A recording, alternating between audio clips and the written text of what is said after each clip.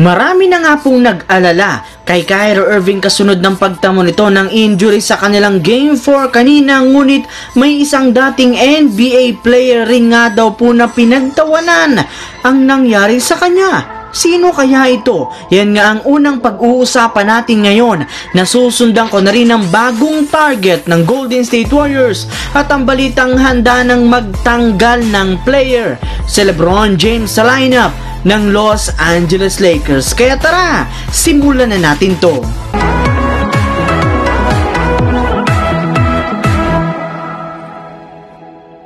Hindi nga po napigilan ng ilang mga NBA players na madismaya sa nangyari kay Kyrie Irving sa kanilang Game 4 kontra sa Milwaukee Bucks. Sa katunayan, maging si Lebron James nga po na pinagsalitaan noon ni Kyrie Irving ng mga hindi kaaya-ayang salita ay nag-alala rin sa kanya. Ngunit kung may mga nag-alala nga po mga idol sa nangyari kay Kyrie Irving, meron rin naman nga po mga taong natuwa pa dito at isa nga po sa kanila ay ang dating manlalaro ng Boston Celtics na si Glenn Davis. Ayon nga po sa kanya, ang nangyari nga daw po kay Kyrie Irving ay bunga na rin ang pagpapahiya nito sa Boston Celtics mula nang sadyain itong tapakan ang kanilang logo Yes mga idol, gusto nga pong sabihin ni Glenn Davis na ayun ang napala ni Kyrie Irving dahil hindi niya nirespeto ang kanyang dating kupunan. Kung inyo nga pong matatandaan, matapos nga pong manalo ang Brooklyn sa Game 4 ng kanilang first round series sa loob ng home court ng Boston ay sinadya nga talagang tinapakan ni Kyrie Irving ang mismong logo ng Celtics pagkatapos niyang batiin ang kanyang mga teammates. Well, alam naman nga po natin na mali talaga ang ginawa ni Irving ngunit hindi pa rin nga po niya deserve ang nangyari sa kanya ngayon. Sa pangalawang balita naman tayo, isa nga po sa mga kahinaan ng Golden State Warriors ngayong season ay ang kanilang front court. Yes mga idol, medyo naubusan nga po sila ng big man kaya sa pagpunta nga po nila sa off-season ay maaari nga po nila itong mapa-improve sa pamamagitan ng pag-trade o pagkuha sa isa sa kanilang mga target na big man ngayon sa katauhan ni Miles Turner ng Indiana Pacers. May sapat naman nga pong assets ang kanilang front office na maipang o-offer sa kanyang kupunan. Sa mga hindi nga po dyan nakakaalam, si Miles Turner lang naman nga po ang kasalukuyan kasalukuyang nangunguna sa liga pagdating sa pagtatala ng blocks sa pag-average nito ng 3.4 blocks per game na siyang hinahanap ngayon ng Warriors. Bagamat man nga po, maaari pa namang mag-mature ang kanilang batang player na si James Wiseman kakailanganin pa nga po ng mahaba-habang taon bago siya makapunta sa ganoong level at kung mamalasin ay maaaring hindi niya nga iyon maabot pa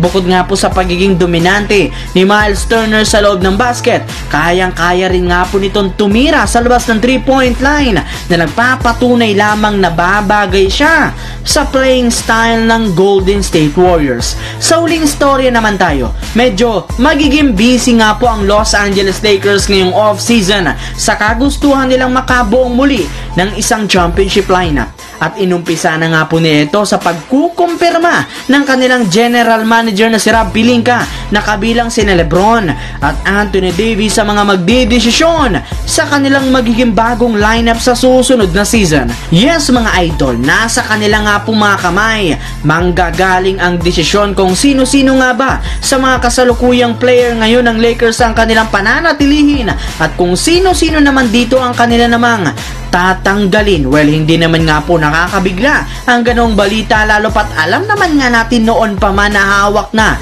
ng dalawang ito ang desisyon sa pagbuo ng kanilang lineup. Ngunit ang mas malaking katanungan nga po ngayon ay kung ano ang magiging solusyon nila sa kanila ngayong problema given na napakalimitado lamang ang kanilang magagawa sa napakalit nilang cap space. Kaya asahan na nga po na makikita nating muli ang magic ni Lebron James sa panghihi hinihikayat ng mga manlalaro ngayong off-season.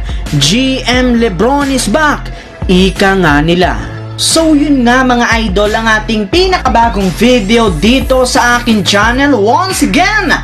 This is your J-Zone TV. Huwag kalimutang mag-subscribe at pindutin ang notification bell para lagi kayong ma-notify sa mga videos dito sa akin channel. I-follow at bisitahin nyo na ang ating Facebook page, J-Zone TV. So that's it mga idol.